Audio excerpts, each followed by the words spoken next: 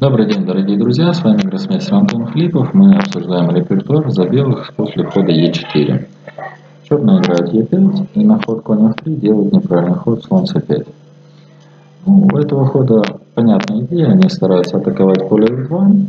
Но а, правильно было защищать пешку ходом конь C6 или контратаковать ходом конь F6. После хода слон C5 мы, естественно, забираем пешку E5. А, белым за это сразу ничего не будет. Теперь давайте рассмотрим ход ферзь h4. Кажется, что этот ход может доставить нам какие-то неприятности.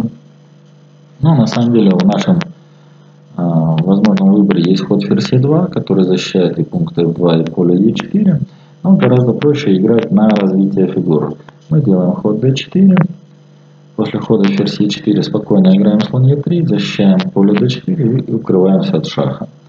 Теперь ход слон b4 не несет никакой угрозы, мы спокойно можем сыграть c3 и на отступление слона сыграем конь d2, наши фигуры входят с темпами и позиция будет замечательной.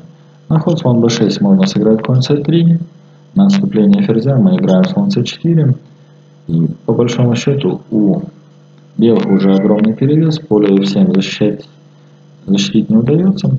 На ход конь h6 мы можем увидеть, что поле f7 защищено конем, поэтому играем слон берет h6 и добираемся до поля f7.